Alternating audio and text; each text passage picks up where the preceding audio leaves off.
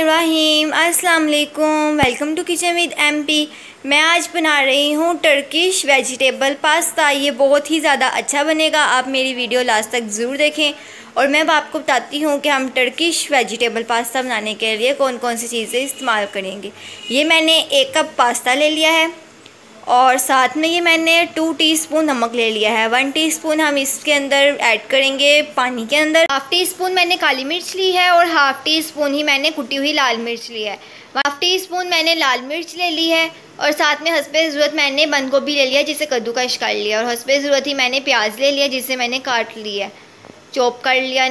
साथ में ये मैंने एक आलू लिया है स्मॉल साइज़ का, जिसे मैंने कद्दूकश कर लिया है और पानी में डिप किया हुआ है, ठंडे पानी में, ताकि ये कलर ना इसका ख़राब ना हो जाए। और साथ में मैंने ये शिमला मिर्च ले ली। इसमें ज़रूरत ही मैंने गाजर ले लिया है। नहीं, मैंने कुकिंग ऑयल ले लिया है। और सोया सॉस ली है, जिसे मैं टू टेबल स्पून इस्तेमाल करूँगी, और विनीगर को मैं वन टी स्पून इस्तेमाल करूँगी। और ये मैंने चिली गार्लिक सॉस ली है, जिसे मैं सिर्फ़ हाफ़ टी स्पून ही इस्तेमाल करूँगी। साथ में मैंने टमाटो कैचअप ले लिया है शंग्रीला की ये सारी मैंने सॉसेस ली हैं, आप भी लें, इससे ज़्यादा अच्छा टेस्ट आएगा।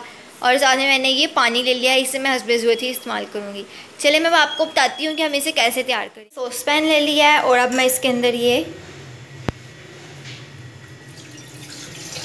पानी ऐड कर लेती हूँ। साथ में मैंने इसमें वन टी स्पून नमक भी ऐड कर लिया। पानी बॉईल हो गया है और अब मैं इसके अंदर पास्ता ऐड कर देती हूँ।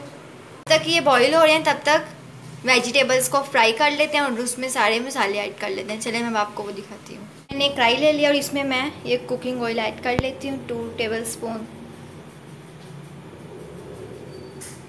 ऑयल गर्म हो गया तो मैं इसके अंदर ये प्याज ऐड कर लेती हूँ। साथ में ये शिमला मिर्च, ये गाजर, साथ में ये बंद गोभी।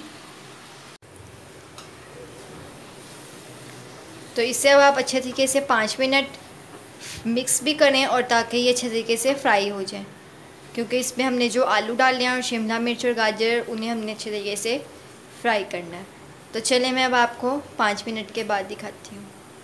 वेजिटेबल्स सारे फ्राई हो गए हैं और अब मैं इसके अंदर सोया सॉस डाल दूँगी। ये two tablespoon soya sauce, one tablespoon vinegar. Mix कर लें। मैंने ये मीडियम फ्लेम रखी हुई है।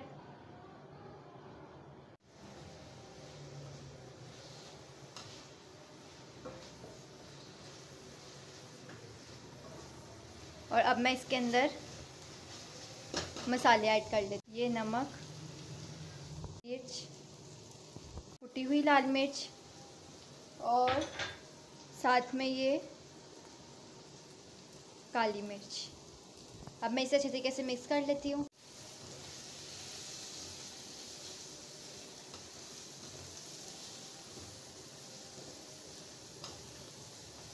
मैंने बिल्कुल लो फ्लेम कर दिया और अब मैं इसके अंदर चिली गार्लिक सॉस डाल देती हूँ।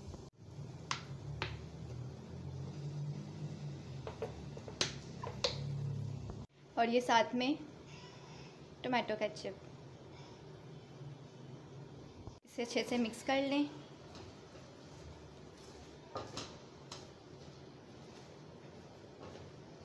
और बस पास्ता भी हमारा बॉईल हो गया और फिर हम उसको इसके अंदर ऐड कर लेंगे। चलिए मैं अब आपको बाद में दिखाती हूँ जब पास्ता हमारा बॉईल हो जाएगा। पास्ता बॉईल हो गया है और आप देख सकते हैं इसकी शक्ल कितनी ज़्यादा अच्छी आई है। और अब मैं ये नूडल्स को निकाल लूँगी।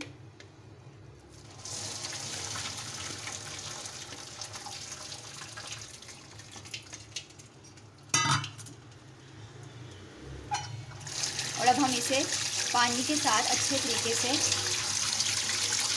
कर लेंगे, ताकि आप देख सकते हैं कितने अच्छे से बॉयल हो रहे हैं।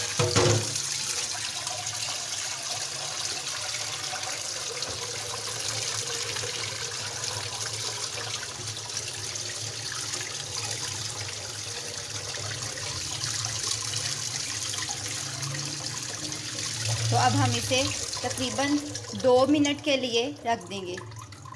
और ये आप देख सकते हैं, पानी सारा निकल गया और अब हम इसे ऐड कर लेते हैं अपने वेजिटेबल्स में। चले, मैं आपको दिखाती हूँ। अब मैं इसके अंदर ये पास्ता ऐड कर लेती हूँ। और अब हम इसे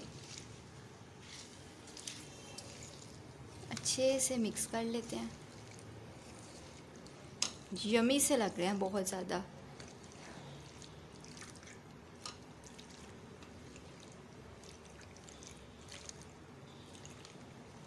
तो मैं इसे अब ज़रा मिक्स करके आपको दिखाती हूँ। तो आप इसे ज़रूर ट्राई कीजिए। ये मैंने मीडियम फ्लेम रखी हुई है। तो इसे मैंने अच्छे तरीके से मिक्स भी कर लिया। आप देख सकते हैं, ये कितने ही ज़्यादा डिलीशियस और यमी से लग रहे हैं। तो अगर आपको ज़्यादा वेजिटेबल्स वगैरह पसंद है तो आप ज़्यादा डाल लें। वैसे हमें थोड़े कम पसंद थे तो हमने अपने हिसाब से थोड़े से ऐड कर लिए हैं। तो ये आप ज़रूर ट्राई कीजिए। बच्चे तो इसे बहुत ज़्यादा शौक से पसंद करते हैं। तो चलें, मैं अब आपको इसे सर्विंग प्लेट में निकाल के दिखाती हूँ।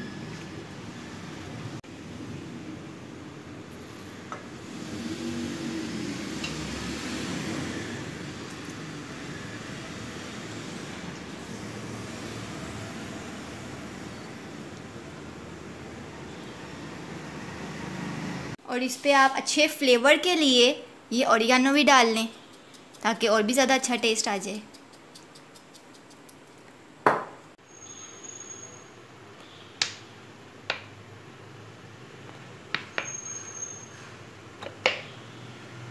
और अब मैं इसे आपको टेस्ट करके दिखाती हूँ।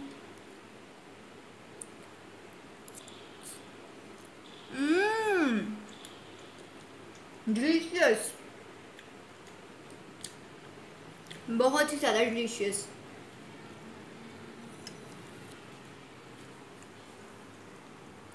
अगर आपको ये टर्किश वेजिटेबल पास्ता पसंद आया है तो ज़रूर मेरे चैनल को सब्सक्राइब कीजिए वीडियो को लाइक कीजिए और कमेंट सेक्शन में ज़रूर बताएँ कि ये आपको कैसा लगा और इसे ज़रूर ट्राई कीजिए ताकि आपके बच्चे भी इंजॉय कर सकें और आप भी इंजॉय कर सकें, क्योंकि ये बच्चों को तो बहुत ही ज़्यादा पसंद होता है। तो इसे ज़रूर ट्राई कीजिए और मुझे कमेंट सेक्शन में बताएँ कि आपका कैसा बना और अगर आप मेरे साथ इसकी पिक्चर शेयर करना चाहते हैं तो मेरी इंस्टाग्राम आईडी पे शेयर कीजिए। तब तक के लिए अल्लाह हाफिज़ टेक केयर